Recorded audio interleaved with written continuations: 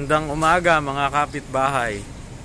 Nandito nga pala tayo ngayon sa PCCI sa located at Marikina sa likod ng ospital ng Marikina Valley Hospital. So sasamahan natin yung ating kasama ngayon para magkaroon ng kaalaman kung paano kumuha ng mga ng kaukulang papel para sa aso. So tara na, pasok na tayo.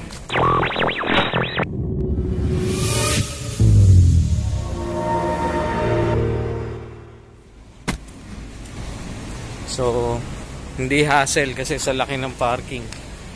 Yan. Malaki yung parking nila. So,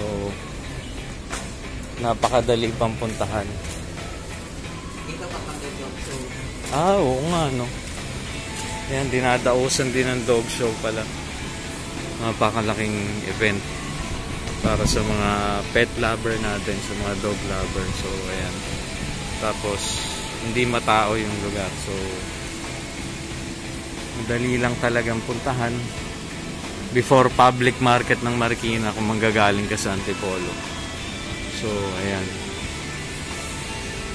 Samahan na natin sa loob yung ating kasama.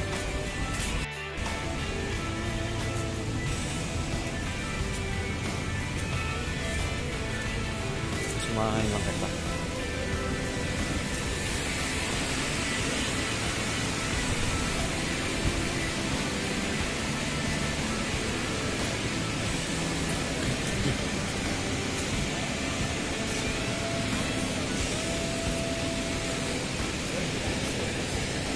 Tanong mo na.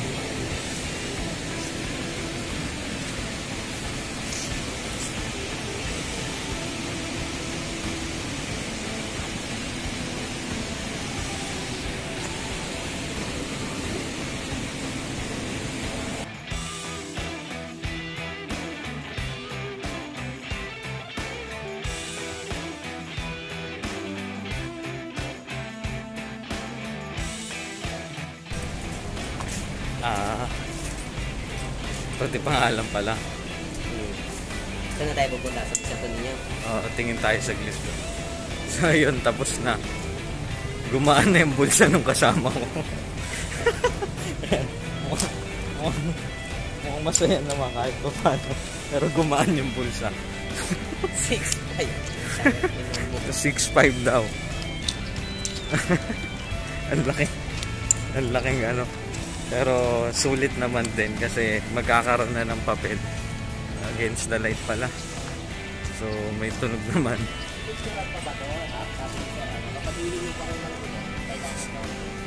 Yung gulong, yun na ata yung polish ngayon eh. So ayan, nakikita nyo na ako ngayon. So tapos na. 6'5 daw. Medyo mabigat talaga paggawa ng papel. Pagkuha. Pero pa pwede mo nang i-show. Oo, pwede. Punta muna kami sa isdaan. Maghahanap tayo ng para sa isdaan. So, ito. Yun Saan lang. na sa Santo Niño?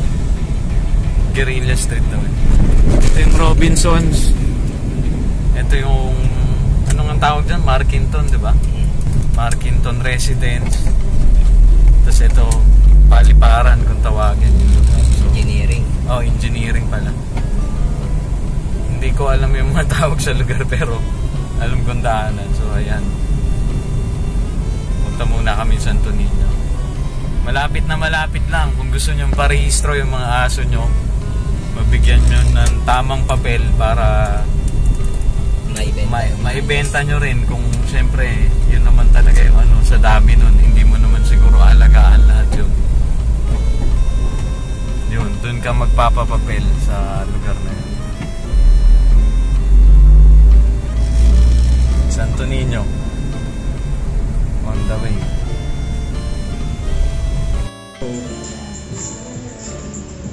Kitang kita mo pag may masamang nakain.